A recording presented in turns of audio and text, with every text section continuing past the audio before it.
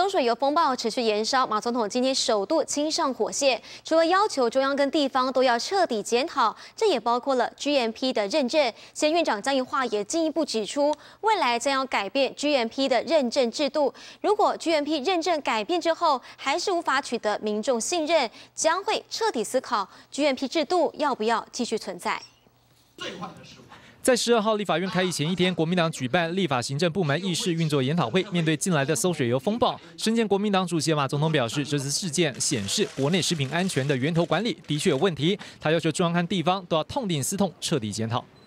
这次的教训啊，卫福部，那么然后还有经济部的 GMP 这些问题，恐怕一次要把它解决，不能够再拖，不能说法令也改了，政策也。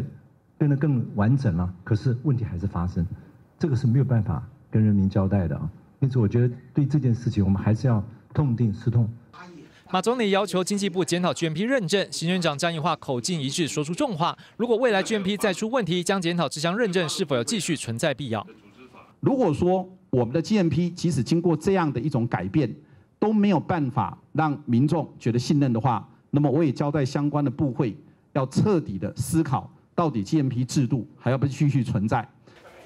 江宜桦也进一步指出，强冠公司生产线七十五项产品中，只有十二项产品有 GMP 标章。不过，出事的香猪油并不是这十二项产品之一。强冠公司鱼目混珠，让消费者误解香猪油也得到 GMP 认证。因此，行政院将改变认证 GMP 的方式，未来厂商所有生产线都要通过 GMP 认证才能适用。